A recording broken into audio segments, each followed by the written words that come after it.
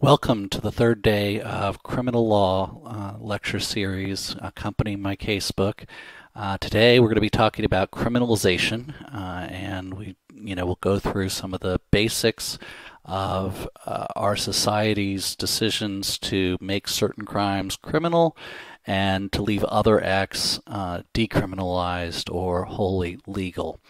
And so to start, you know, this is, as I mentioned in, in the beginning, what this course is about the substance of criminal law, what we criminalize, how we criminalize it, how we define those crimes. And so I think it's helpful to start with some easy examples where there's universal agreement in terms of a set of conduct and acts uh, that should be criminalized, and then to move to more and more difficult cases, and to see that even in the easy cases, there's exceptions and there's circumstances where um, there is disagreement or uh, the law does not fully punish or criminalize the relevant conduct.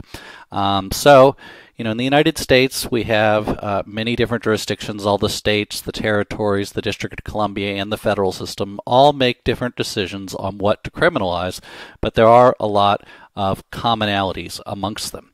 Uh, so, uh, one obvious example is murder, right? Homicide. Um, homicide is generally the bigger category, of which murder is uh, the worst of the offenses. And we'll talk more about the language of homicide uh, when we get to that chapter. Uh, everyone agrees, right? Murder should be legal. This is a, a universal norm. Um, and so this would maybe be our easiest case, right? We don't want a society where everyone is just free to kill another person with no consequences. And yet, and yet, even within this easy case, there are going to be situations where our society excuses or justifies murder. Self defense being a prominent example. Um, and so, you know, we have to define the contours of what constitutes murder, uh, when uh, should it be excused, which will come up in our affirmative uh, defenses section at the end. Um, so, even the, the easiest example we have, um, we already start to see some wiggle room, some boundaries that the law, criminal law, uh, won't uh, cross. So that's pretty easy. But then we move to, say, theft, right? You know, and theft, of course, comes in many different variations. We have petty theft, which is usually low value items, grand theft, uh, or as the slide indicates, grand theft auto, if we're specifically dealing with uh, vehicles. Uh, we have embezzlement. Uh, fraud is uh, potentially considered a form of theft. Um, it's a crime against property. Um, and you know, this is again something that's that's very broad based across societies. Uh, even in a in a, a, communist nation where we would have state ownership of property, there's still theft laws, right? People taking what is not theirs is considered to be a, a crime uh, when it's taken from another uh, civilian. Um, but again, there will be instances where things that might, you know, appear to be theft um, aren't considered like if you accidentally take the property of another, right? If you have two similar suitcases, you grab the wrong one off the turnstile at the airport, um, our rules will say eh, maybe we shouldn't charge that person. And we'll talk about that when we get to mens rea and the distinctions there. There's also sometimes where our law is slow uh, to recognize new forms of theft and it has to adapt and change or uh, be amended. Um, this was true uh, in the mid 20th century in many states uh, when uh, people who were in partnerships or other business associations would take money from those partnerships without the permission of their other partners. Some jurisdictions said, well, that's not theft because if you're an owner of the relevant business association, then you can't be stealing from yourself. And so laws had to be amended to recognize, yeah, but you are stealing from your other partners. And so that became criminalized over time. So again, theft, another easy case, a crime against property, uh, where there's going to be uh, some confusion and wiggle room uh, in specific fact settings. Then we get to assault and battery. Uh, and again, assault and battery. Um, the, the language here is often a, a, bit confused. I'll talk about that in a second. But assault and battery is sort of a core crime that we see across all jurisdictions. And the notion is you just don't go up and hit people in the head or whatever. Um, I don't know what this particular move is depicted in the slide. Uh, sometimes when you're looking for fair use images on Google, you discover very strange uh, things.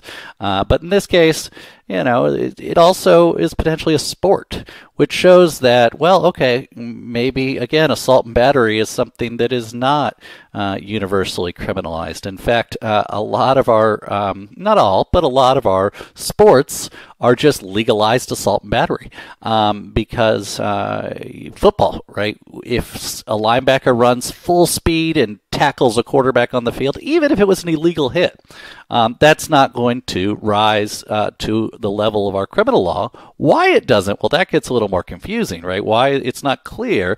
We might say it's because of consent. Other jurisdictions have basically have a sports exception uh, read into their law, but the idea is we actually not only legalize assault and battery in some cases, but we cheer it on.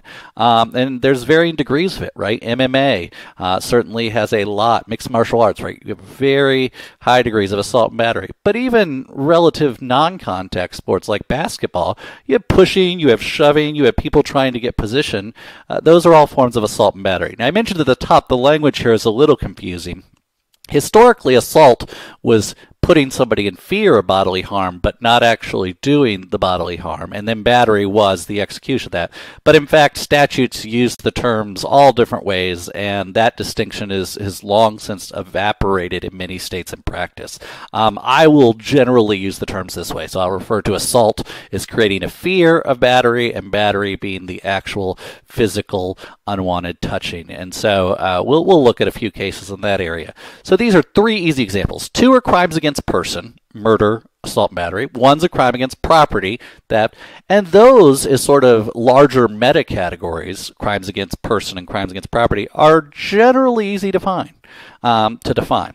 There will be some examples.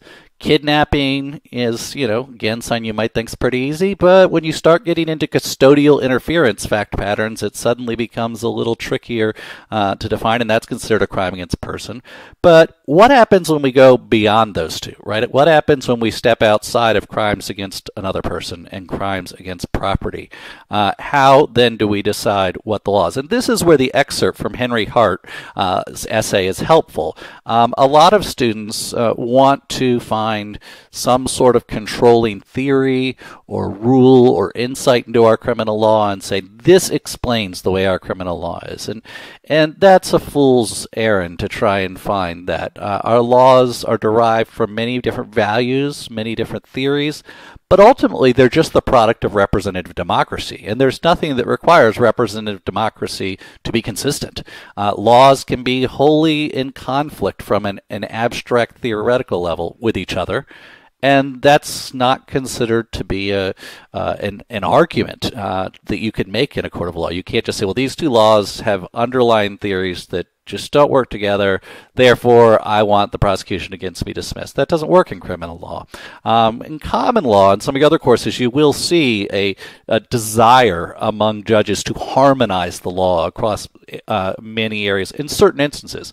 But in criminal law, each statute and each jurisdiction operates as an island um, that doesn't require resolution. Um, with a larger body of statutes or rules. Okay, so if we're done talking about the easy cases, which it turns out aren't that easy, uh, let's move to the harder cases. Um, now, uh, Lawrence v. Texas is a case that you can look at from many different directions. Uh, it's most often spoken of in terms of the constitutional rights of the 14th Amendment and whether or not Texas's anti sodomy law uh, was a violation of uh, liberty interests and individual autonomy and dignity. Um, it also can be talked about in terms of equal protection, but that was only Justice O'Connor's concurring opinion that made that argument. But in this course, I want us to focus on the, the parts that I've edited, which, although they mention the constitutional aspects, it's really a debate between Justice Kennedy's majority opinion and Justice Scalia's dissenting opinion about what is the appropriate scope of criminal law and a free democratic society. And they have very different views of it, right? Each of them has a perspective that um, would allow for a very different uh, set of laws governing um, our society. And importantly, it we don't have to say that, you know, Scalia mandates all these laws be implemented, right? You know, because he has a much more permissive um, rule for what the state can criminalize than Kennedy does. but his rule would potentially allow that. Um, in contrast, Scalia paints Kennedy as requiring an enormous retraction of existing criminal laws, and that uh, the holding of the majority opinion, according to Scalia, would result in a far different uh, uh, set of statutes in criminal law than we currently have, um, because a lot would have to be uh, amended or would be struck down. Okay, so what actually happens in Lawrence v. Texas? Well, the facts are pretty straightforward. There is actually a, a minor historical factual footnote that the underlying facts might not even be exactly what happened, but um, that's a, a, Dale Carpenter, a professor who's looked at that in greater detail. It's not really here nor there, but it's an interesting side note for the case.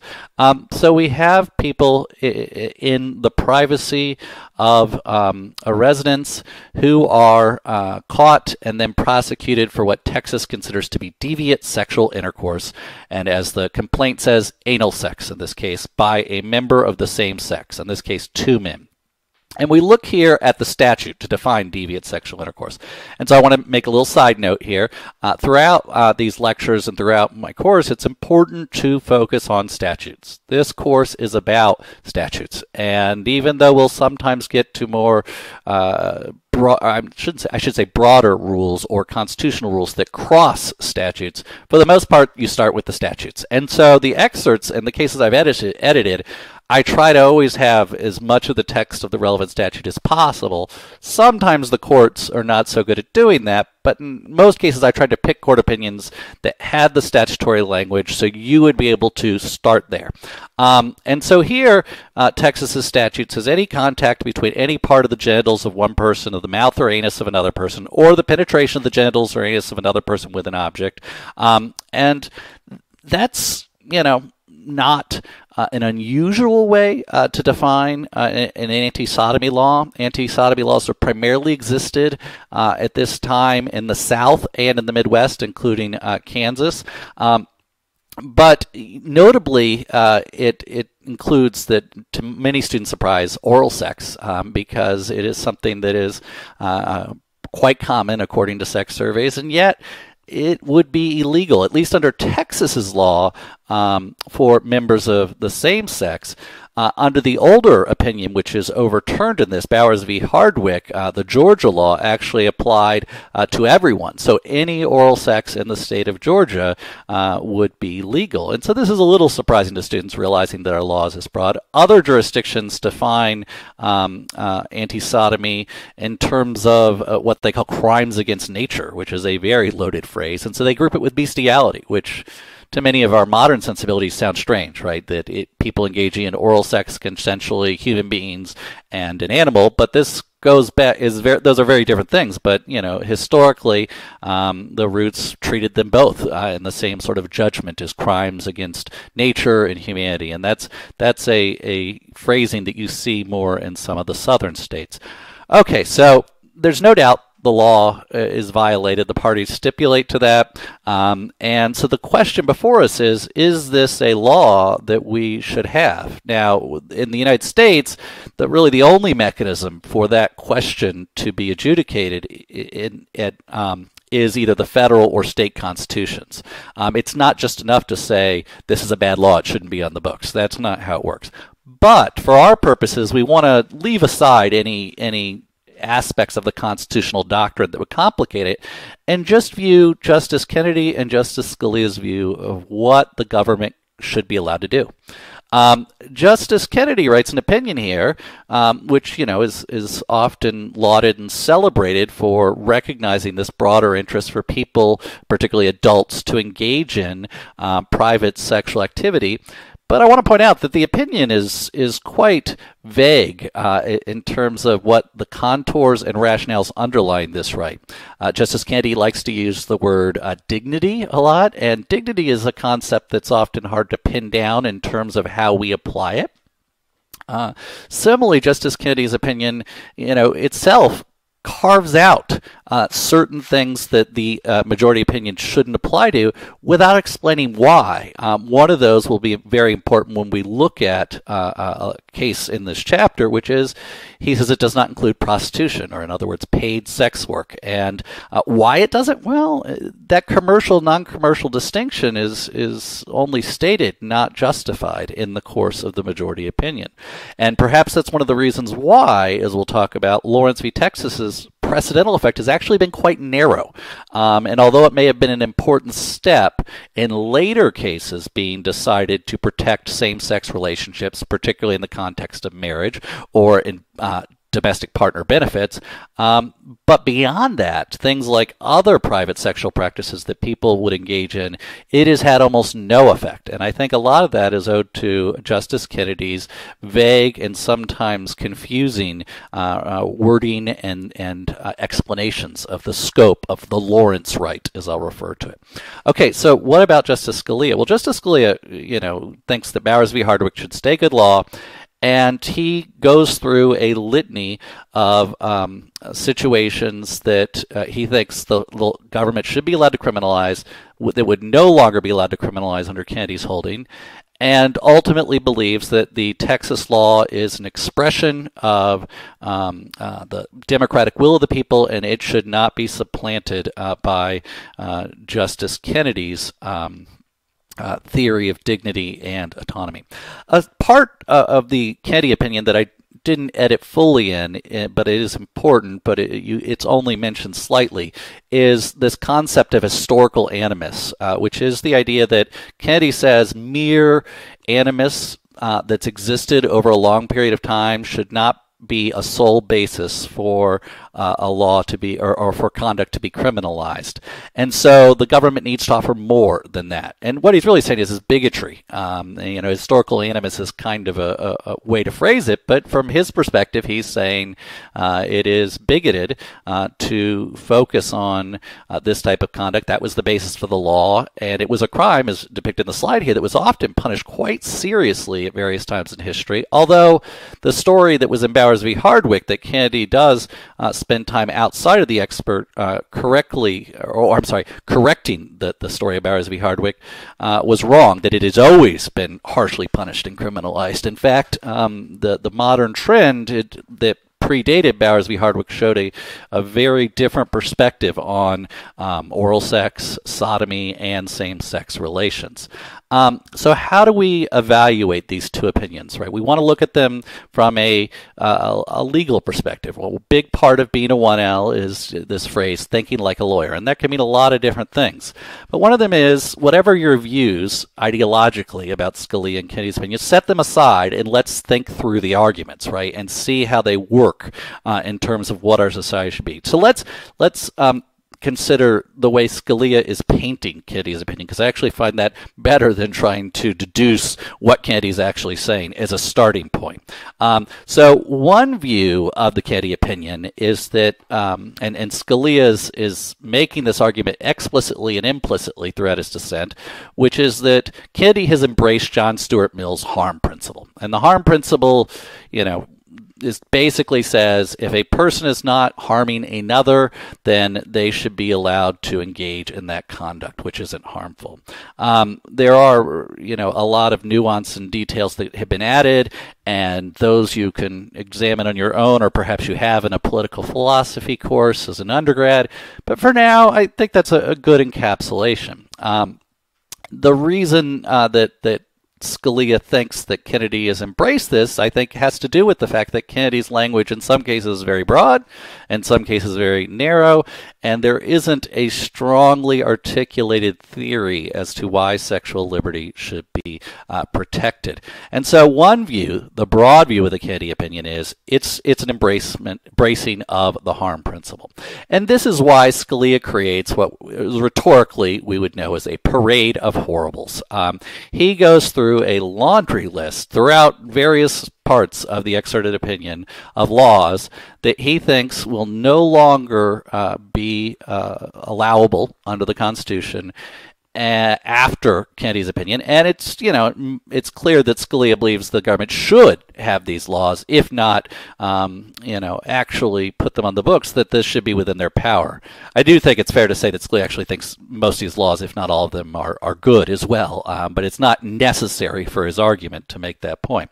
Um, and it's quite a list. Um, you, if you look through it, you see some common threads, but then there's some outliers here.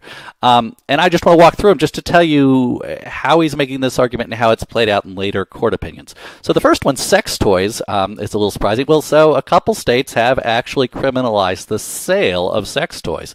And of all of Scalia's predictions, if we think this parade of horribles is actually a set of predictions, this is the one he probably did the best on. Um, there is a ongoing circuit split that may never be resolved uh, between Texas's and Alabama's sex toy uh, prohibitions.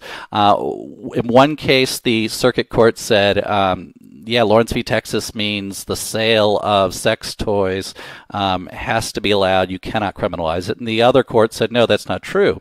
Um, I actually find this one um, a little surprising there's a split on because it, it, should have been easy for the lower courts to distinguish the sex toy criminalization from Lawrence v. Texas by the language Kennedy uses was commercial versus non-commercial. The laws in question only criminalize the sale, not the possession of sex toys, and so it's not clear to me Lawrence v. Texas should have applied. So it's sort of a strange example in terms of its history. Gays in the military is sort of an odd argument because, um, unlike O'Connor's uh, concurring opinion, which I've omitted, um, Kennedy's um, uh, opinion isn't specific or focused on the same sex aspect of Texas's law and instead says this is unconscionable across the board.